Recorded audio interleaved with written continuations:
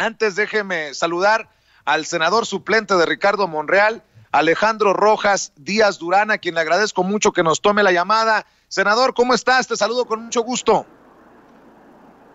Igualmente, el gusto es mío, Vicente. Muy buenas tardes a tu auditorio, días todavía, a todo el auditorio que te escucha, a tus órdenes. Estoy leyendo, estoy escuchando muy interesante las reflexiones que están haciendo ahí.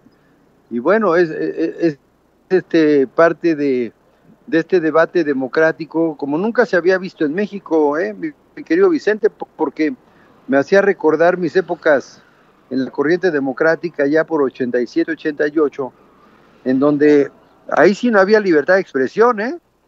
Ahí prácticamente el Estado, el Estado partido o el partido del Estado, era el que controlaba todos los medios de comunicación, difícilmente había unas voces críticas publicadas, eh, no había internet, no había redes sociales, eh, había solamente un noticiero cuasi oficial y pues aquel que se saliera del script pues prácticamente era objeto de represión ahí sí política y de otros de otro tipo. Me acuerdo que el único periódico crítico de aquella época, el antecedente de la jornada, era el uno más uno. No tiene nada que ver con este uno más uno de este tiempo, pero Manuel Becerra Cosa tuvo que salir perseguido de México porque él fue el que publicó en primicia que nacía la corriente democratizadora del PRI y luego fue perseguido y el única, la única revista que era crítica y era muy, muy hostigada era la revista Proceso de don Julio Scherer. Entonces, es decir, era un México en el cual, no hombre, ahorita eh, eh, estamos en la primavera de las libertades públicas y de expresión en México, porque Oye, senador. cada quien puede decir lo que se le antoja. Oye, senador, ¿No? si estos son una bola de hipócritas, sí. estos 650 que firmaron, ¿qué me dices de la creación del tumor, como le puso Gabriel Cuadri, el Todos Unidos contra Morena del PRD, PAN y PRD, PAN, PRD y PRI en Zacatecas? No, hombre, lo que tienen ellos es un tumor, pero en el cerebro de el viejo régimen. Mira, la gente que está muy enojada con el presidente López Obrador porque es el único presidente que se atreve a fijar posición frente a los adversarios al régimen o a su gobierno. Esto no se utilizaba antes, como que decían, ¿por qué el presidente tiene que fijar posición respecto a, a las diversas voces que existen en la sociedad? Bueno, el presidente de la República obviamente gobierna para todos los mexicanos, pero sigue siendo un ciudadano de la República y él está defendiendo un proyecto, una visión de país que compartimos millones de mexicanos. Y lo que no les gusta es que desde el poder, desde el, desde el Ejecutivo Federal, que fija una posición que no comparten ellos y ellos se escandalizan porque el presidente eh, como en anteriores sexenios, los supuestos críticos de ahora, en primer lugar, no ponían el dedo en las llagas, ¿no? Este, de la corrupción, de la impunidad, de la ilegalidad, y más o menos como que medio criticaban y desde el poder los consentían, ¿no? A tal grado que pues muchos de estos que firman, pues tienen, hicieron fortunas de eso, ¿eh?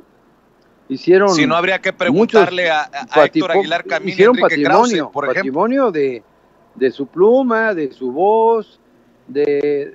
Digamos que era como un pleito arreglado, ¿no? Como que eran críticos, pero hasta cierto punto. Y, y, y eso legitimaba también a lo que le llamaban el viejo régimen, ¿no? Entonces, pero era una crítica, entre, comillas, arreglada, medida, que no lesionaba a profundidad o no ponía en riesgo, en verdad, todo el, la red de corrupción que había. Y al contrario, como que era una especie de justificación de que sí había libertad de expresión crítica, claro. pero tenía sus límites. Los límites era no te metas con el presidente, este, y no, no desnudes la corrupción sistemática, organizada, la delincuencia organizada del, del régimen político y económico, y mientras eso no suceda, y lo que quieras, ¿no? Entonces, senador, pues, hacían sesudos, sesudos análisis de todo, pero nunca, nunca, por ejemplo, lo que hemos hecho nosotros, yo denuncié al narcogobernador hoy de Tamaulipas y ninguno de ellos lo vio, por ejemplo, ¿no? O sea, siendo que había evidencias desde el sexenio pasado, ¿eh? Desde Eso es importante. ¿eh? Eso es importante lo que mencionas.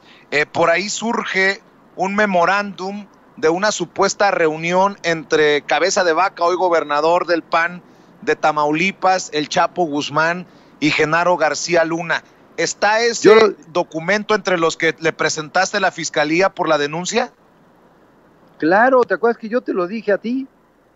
Fíjate, yo te lo mencioné a ti, yo lo documenté eh, de una conferencia de prensa y casi ningún medio de comunicación lo sacó. Fíjate nada más lo que es la vida. Tuvo que, tuvo que venir un cable de afuera, de una agencia internacional, diciendo, aquí está el cable donde se demuestra que se reunió eh, el Chapo con cabeza de vaca y García Luna en Los Cabos. Ese cable salió tres semanas después de lo que yo lo dije. De yo, lo, yo fui el que lo documenté. ¿Qué medio de comunicación de televisión en México, de los grandes periódicos nacionales, que es noticia de primera plana, ¿eh? No me sacaron. ¿Por qué? Porque también tienen intereses, porque el gobernador tiene convenios, y lo digo con todo respeto, con muchos medios de comunicación. Entonces no salió en México, tuvo más repercusión en, afuera que aquí en México. Esos que firman ¿Por qué no hicieron columnas al respecto del memorándum? Que no lo firmo yo, ¿eh? Lo firma el cónsul de Estados Unidos en Matamoros, Tom Bradley, que confirma a la DEA que se reunió el gobernador cabeza de vaca del PAN de Tamaulipas con el Chapo a través de García Luna. Imagínate qué información tan importante, ¿no? Y el, el señor es el vínculo Incluso lo documenta el propio consulado de Nuevo Laredo de Estados Unidos, que el señor también tiene vínculos con el chino Shen Li Gong y que está involucrado desde Javier Lozano hasta Gil Suárez, en donde involucran y señalan que era para financiar la campaña de Felipe Calderón allá en Reynosa, cuando este señor era alcalde de Reynosa, y es el vínculo para llevarle dinero de la delincuencia organizada a Calderón. Fíjate nada más la importancia de la denuncia y todos los que firman allí, ninguno se ha tomado la molestia de indagar las investigaciones que hay en Estados Unidos, en la DEA, en el FBI, y ya estamos en la Fiscalía General de la República y en la Unidad de Inteligencia Financiera del gobierno mexicano. ¿Cuántos de los que firmaron? Déjame preguntarte, senador, déjame preguntarte, ¿cómo conseguiste tú, cómo consiguió tu equipo legal acceso a ese memorándum? Mira, desde que estábamos en la campaña presidencial del presidente López Obrador allá en el norte del país, en 2018, nos empezaron a llegar información de mucha gente porque ese gobernador es un gobernador además muy represor. Mucha gente tiene miedo de hablar. Entonces nos empezaron a acercar información y yo me dediqué a la tarea de ir, ahora sí que siguiendo las pistas, documentando, y puse un equipo de abogados que me hiciera favor de validar los documentos que nos presentaban. Entonces nos tardamos un año y medio en esa investigación que está muy robusta. Yo le documenté al gobernador Cabeza de Vaca que se hizo multimillonario inmobiliario en tan poquitos años que su patrimonio inmobiliario ahorita anda por los dos mil millones de pesos ahorita. Dos mil millones de pesos. El señor vendía chamoyadas allá en Reynosa. Su papá era un modesto señor que tenía un taller mecánico. de, de vendedor de chamoyadas a presidente municipal de Reynosa, en donde su suegro se dedica al guachicol. Y eso no lo digo yo. Todo lo que está ahí son investigaciones de Estados Unidos y también de México. Hay declaraciones de gente que está en la cárcel detenida vinculada a, eso, a esos cárteles delincuenciales. Incluso el señor Shane Digigon declara que parte del dinero que le encontraron, que están desaparecidos 75 millones de dólares, que eso también yo lo dije allí,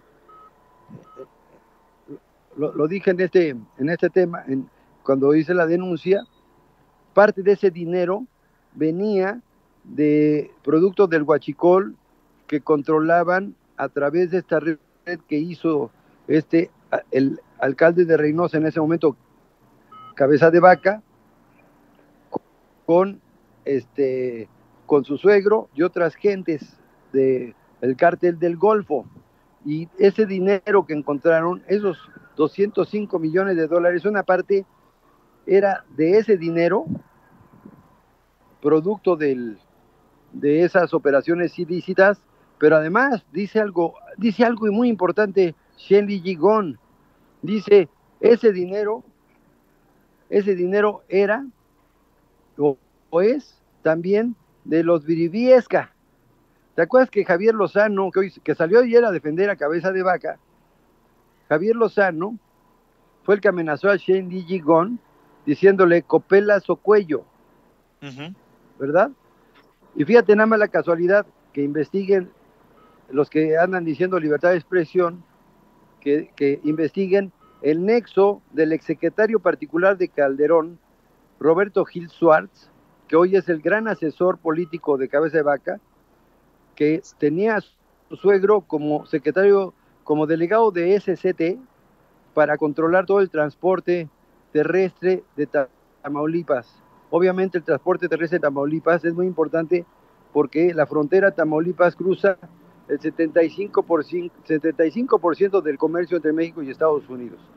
Entonces, ese señor Gil Suárez, el exsecretario de Calderón, Javier Lozano y todo este equipo del PAN y los Vibriesca están involucrados con García Luna, con Calderón y con la delincuencia organizada. Y eso, pues, ojalá todos los que firmaron ese desplegado nos ayuden a averiguar más.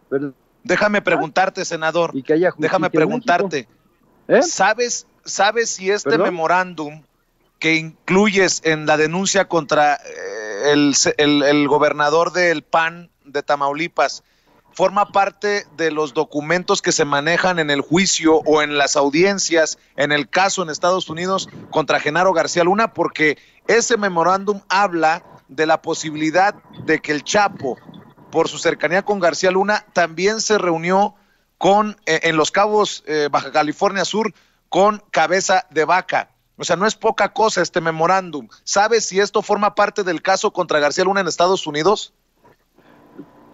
Forma parte de la investigación que le abrieron la DEA en Estados Unidos a cabeza de vaca.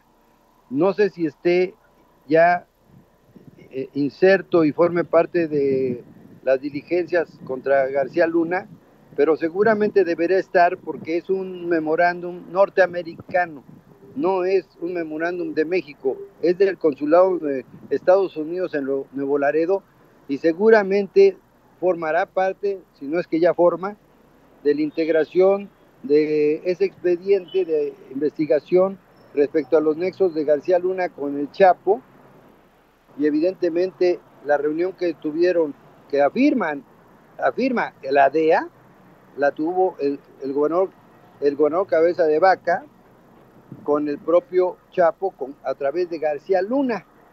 Entonces, eso es, es importantísimo para poder cuadrar precisamente todo lo que se está viviendo hoy, porque hay que recordar que Cabeza de Vaca llega como candidato a gobernador por una concertación que hace el PRI de Peña Nieto para cederle al PAN la gobernatura, varias gobernaturas al PAN a cambio que votaran las reformas.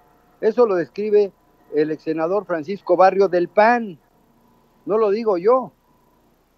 ¿Cómo fueron a exigir la gobernatura de Querétaro, que ahí están los audios de que les había, iban a dar 6 millones de pesos mensuales, ¿no?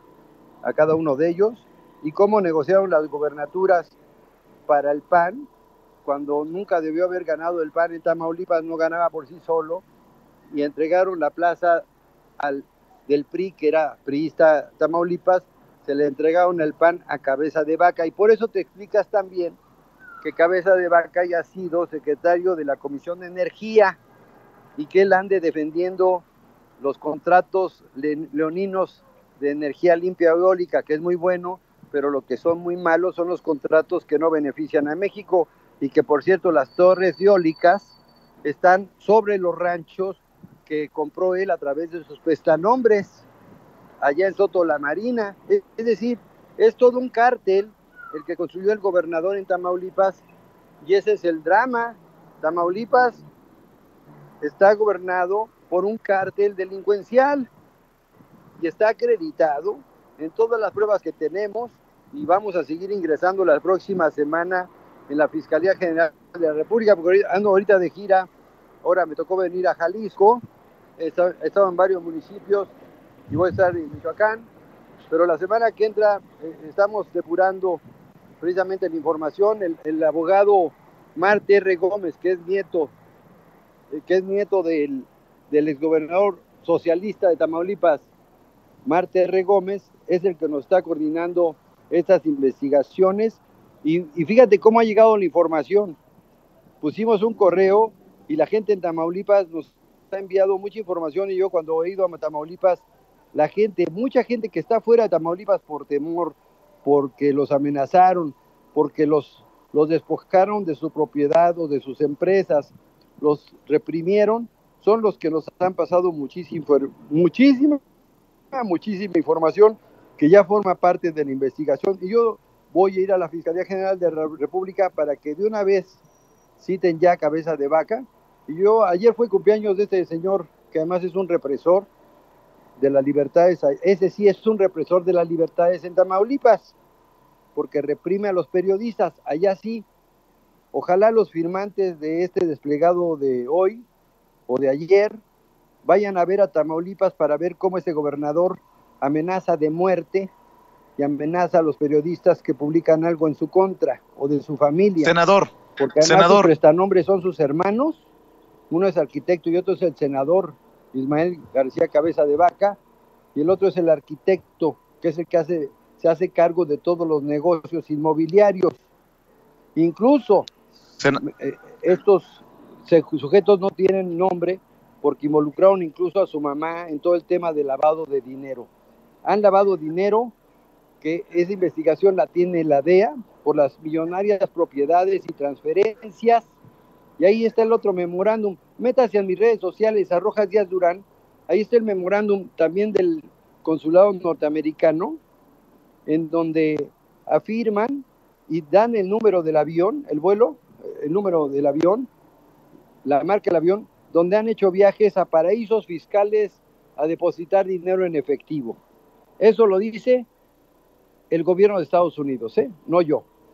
Senador, déjame preguntarte para cerrar, porque sé que andas en gira, andas ocupado y nosotros también tenemos una eh, serie de enlaces, pero es importante todo esto que nos está señalando, pero sé que también andas en campaña porque quieres ser presidente de Morena.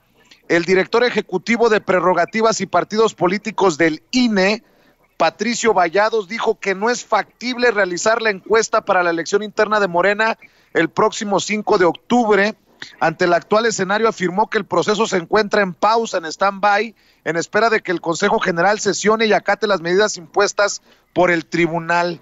Dame tu opinión, porque esto se extiende y se extiende, y entre más se extienda, creo que más afecta a los afiliados, a Morena y a todos aquellos que desde esa trinchera respaldan la cuarta transformación.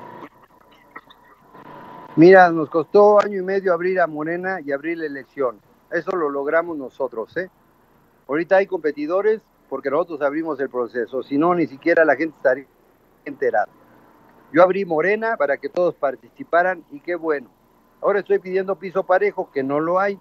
Por eso está suspendida la convocatoria y falta que el tribunal revise que haya piso parejo, porque no hay periodos de campaña, no hay debates, ni hay topes de campaña, y muchos utilizaron recursos públicos para construir su candidatura, así como el joven Gibran, que ya, qué bueno que el presidente lo mandó a investigar, porque ahí hay, andan bailando varios millones de pesos, no se vale eso, no, luchamos para que tener un partido del viejo régimen, un viejo partido con las viejas prácticas, y, y Mario Delgado, que es coordinador de los diputados y presidente de la JUCOPO, sigue en el cargo utilizando recursos públicos. Eso también es inmoral e ilegítimo. Entonces yo le pedí al tribunal y al INE que si no hay piso parejo, yo les voy a tomar el INE, porque este partido Morena tiene que salir muy fortalecido de este proceso. No voy a permitir que nos enreden, que gane el mejor o la mejor, que la gente decida, pero que haya debates, Vicente, que tú nos invites a debatir y que la gente diga cuál es la mejor propuesta, pero sin debates, sin un periodo de campaña, sin topes de campaña, sin piso parejo, no puede haber una elección democrática y lo peor, nos puede todavía hundir un poco más cuando Morena lo que necesita es salir con mucha fuerza, organizar a la gente y servirle al pueblo de México para continuar la cuarta transformación. Y para eso vamos a exigir que haya un proceso democrático porque de eso depende el triunfo del 2021, que vayamos todos juntos con un liderazgo con legitimidad popular y democrática y autoridad política para encabezar los esfuerzos para seguir apoyando al presidente López Obrador, pero sobre todo para abrirle las puertas a las causas de la gente, servirle al pueblo de México, es lo que yo quiero. Y por eso, pues vamos a seguir luchando para que haya democracia, justicia y elecciones equitativas por eso luchamos tantos años y que el INE haga, su chamba, no un concurso de popularidad. No vamos a elegir a la flor más bella del elegido de Morena, vamos a elegir a la futura dirigencia nacional del partido más importante en la historia contemporánea de México y el más grande de América Latina. Creo que merecemos tener un proceso en el que todos participen. Claro que sí. Eh, pues senador, te quiero agradecer por el tiempo, por tomar la llamada y estemos al pendiente para seguir eh, con esta idea de los debates. Hoy entrevisto a Gibran en unos minutos. Eh, más tarde aquí en Sin Censura y le voy a proponer lo de los debates. El lunes estará Mario Delgado en Sin Censura. También le voy a proponer lo de los debates y a ver qué me dicen y ya te avisaré a ver si se hace la machaca, como decimos allá en Sonora. Órale, yo, yo ya sabes que yo estoy más que puesto. ¿Eh? Sale. Gracias, senador. Gracias. Es el senador suplente de Ricardo Monreal y eh, candidato a la dirigencia nacional de Morena, Alejandro Rojas Díaz Durán.